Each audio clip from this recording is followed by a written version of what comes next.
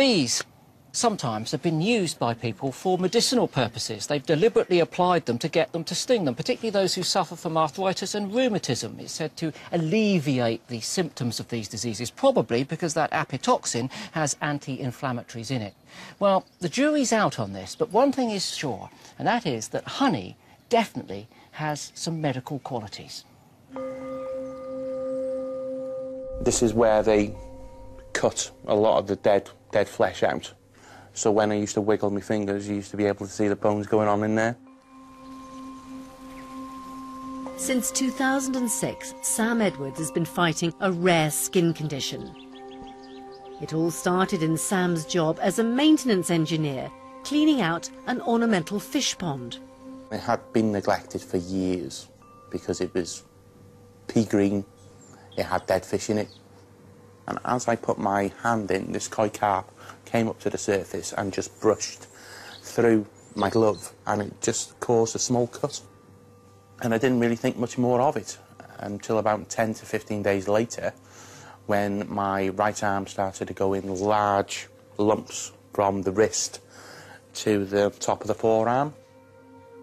They start off quite large and then they go very black and necrotic, which is basically dead tissue. The smell was like if I was rotting. Meanwhile, things were getting even worse. The arm went black and it went down the other arm and then it started going up one leg. So I'm in a bit of a panic now. Pain-wise, it was like being in a deep fat fryer, putting your hand in a deep fat fryer 24 hours a day. Finally, a visiting doctor from overseas recognised Sam's symptoms. He said, yep, yeah, you have an infection called Mycobacterium marinum, which is derived from fish to get it a lot in their country. Come on, let's go. The doctors tried fighting the infection with antibiotics, but the pills gave Sam jaundice, so had to be stopped. They started talking about multiple amputations. With prospects at rock bottom, the doctors were trying almost anything. Seaweed and maggots. The maggot one was quite interesting because they, they come in little pots and they put maggots on, but they died. And they weren't entirely sure why they died. So they didn't try the maggots again. Then, just before Christmas 2013, someone suggested that Sam try Manuka honey dressings. Manuka honey comes from New Zealand and is produced by bees that feed on the Manuka plant. It can be used in a variety of cases, surgical incisions, burns and even malignant wounds. The results, for Sam at least, have been impressive. It's life-changing. Within such a short space of time, I have never seen my wounds heal so progressively. The smell's gone. Within three months, I'm almost back to normal.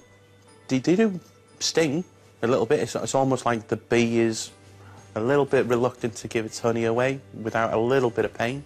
So they do sting when you put them on.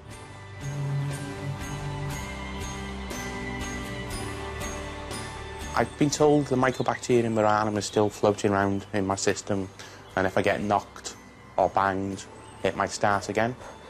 But I would say I'm 99.9% cured. This treatment won't work for everyone, but the doctors do believe that the honey has played a crucial part in Sam's recovery. People look at bees as a little insect that swarms around their picnic, wanting to sting them. I look at a bee now as a little friend who sort of helped me out when I really needed it, a humble little bee. And you would never in a million years think something so small can have such a huge impact on a different species.